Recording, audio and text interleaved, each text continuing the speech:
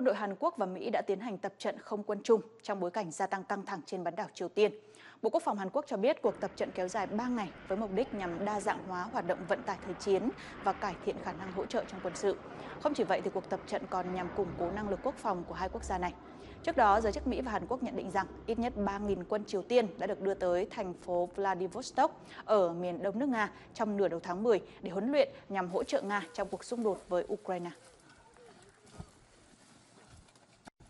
Cơn bão nhiệt đới Trà My đổ bộ vào phía đông bắc Philippines đã gây ngập lụt và lở đất, ít nhất 24 người đã thiệt mạng.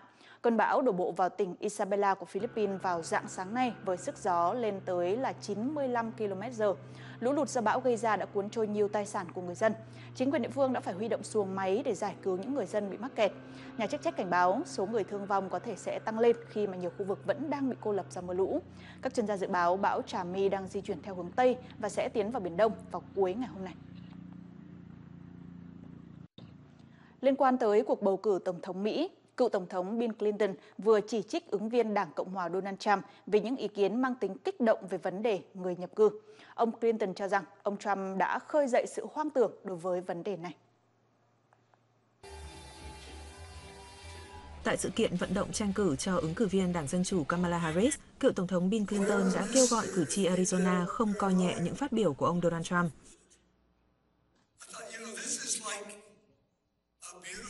Thông điệp của ông thực sự đang nuôi dưỡng sự hoang tưởng. Chúng ta đã cười nhạo và việc đó thật sai lầm. Bởi vì nếu mọi người bị lừa gạt thêm một lần nữa, chúng ta sẽ không cải thiện được tình hình biên giới. Hồ sơ cho thấy ông Trump đã gửi nhiều người nhập cư có giấy tờ đầy đủ về nước họ hơn là những người thiếu giấy tờ. Điều này thật nực cười. Trong những tuần gần đây, hai cựu Tổng thống Mỹ là ông Clinton và ông Barack Obama đã tích cực tham gia các sự kiện vận động nhằm kêu gọi sự ủng hộ dành cho bà Harris tại các tiểu bang chiến trường như Arizona và Michigan.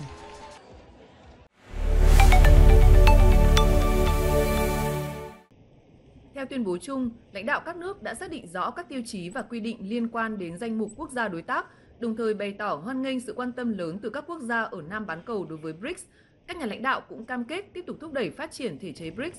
Lãnh đạo các nước BRICS cũng đạt được đồng thuận về việc tạo điều kiện thuận lợi cho thương mại giữa các quốc gia thành viên. Tuyên bố khẳng định vai trò của các công cụ tiêu chuẩn hóa trong việc thúc đẩy thương mại và nhất trí tăng cường hợp tác trong lĩnh vực thuế để xây dựng một hệ thống thuế quốc tế tiên tiến, ổn định và hiệu quả hơn. Chúng tôi đề xuất thành lập một nền tảng đầu tư mới trong BRICS.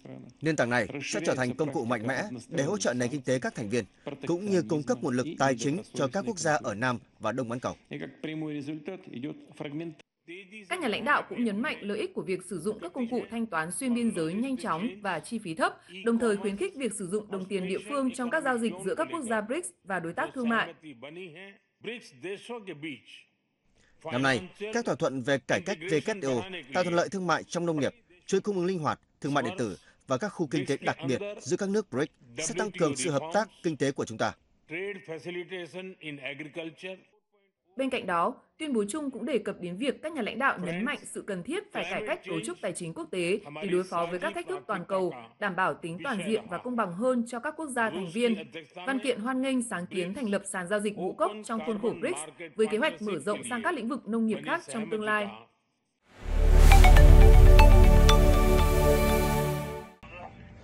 Truyền thông Thổ Nhĩ Kỳ đưa tin, một nhóm tấn công đã đến trụ sở tập đoàn công nghiệp hàng không vũ trụ Thổ Nhĩ Kỳ TUSAS bằng taxi, trong lúc các nhân viên an ninh đang đổi ca. Ít nhất một trong số các đối tượng này đã kích nổ một quả bom, trong khi những kẻ khác tiến vào tòa nhà. Các đối tượng tấn công có vũ trang đã đột nhập vào tòa nhà của tập đoàn công nghiệp hàng không vũ trụ Thổ Nhĩ Kỳ. Các nhân viên bên trong tòa nhà được lực lượng chức năng hướng dẫn vào các khu vực an toàn và không được phép rời khỏi hiện trường trong vài giờ. Bộ trưởng Nội vụ Thổ Nhĩ Kỳ Ali Yelikaya cho biết Hai đối tượng thực hiện vụ tấn công đã bị tiêu diệt ngay sau vụ việc. Trong số những người bị thương, có 3 trường hợp đang nguy kịch. Khi so sánh với các vụ tấn công tương tự trước đây, chúng tôi có quan điểm mạnh mẽ rằng đó là Đảng Công nhân người Kurd, hay còn biết đến là Đảng PKK, đứng đằng sau vụ việc. Lập luận này sẽ được khẳng định lại khi chúng tôi công bố chính xác danh tính của những kẻ tấn công.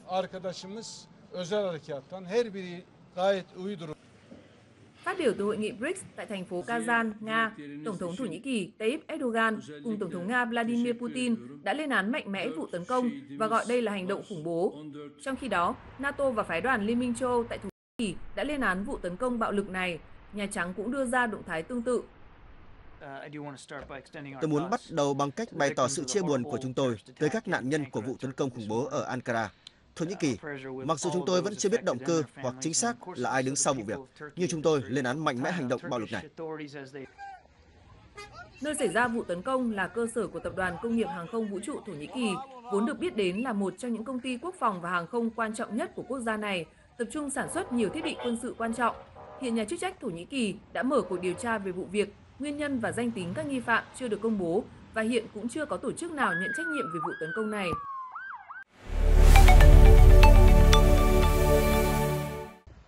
Xác nhận trên được đưa ra chỉ một ngày sau khi quân đội Israel khẳng định về cái chết của thủ lĩnh Hezbollah kế nhiệm. Vào ngày 23 tháng 10, Hezbollah đã thông tin ông Hashem Safieddin thiệt mạng trong một cuộc không kích của Israel cách đây 3 tuần vào một tòa nhà ở ngoại ô phía nam thủ đô Beirut, Liban. Trước đó, một nguồn tin an ninh của Liban cho biết lực lượng Hezbollah đã mất liên lạc với ông Safieddin sau cuộc tấn công của Israel ở vùng ngoại ô phía nam Beirut hôm 4 tháng 10 Israel khi đó đã sử dụng 73 tấn bom để nhắm vào một ke nơi các lãnh đạo cấp cao của Hezbollah nhóm họp. Người đứng đầu cơ quan tình báo của Hamas được cho là cũng có mặt tại cuộc họp này. Ông Safieddin, 60 tuổi, đứng đầu hội đồng giám sát các hoạt động quân sự của Hezbollah. Ông cũng đứng đầu hội đồng giám sát các vấn đề tài chính và hành chính của nhóm này. Cùng với Phó Tổng Thư ký Naim Qasem, ông Safieddin đã điều hành phong trào Hezbollah kể từ khi thủ lĩnh Nasrallah bị hạ sát Trước đó, đã có nhiều ý kiến dự đoán rằng ông Safieddin sẽ sớm được bầu làm tổng thư ký tiếp theo của Hezbollah.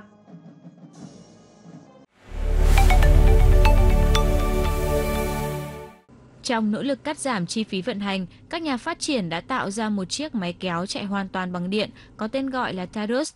Ý tưởng này đến từ những tấm pin năng lượng mặt trời lắp đặt trên những mái nhà ở khắp các trang trại nước Đức – Máy kéo điện được thiết kế không chỉ thân thiện hơn với môi trường mà còn hiệu quả hơn về mặt kinh tế.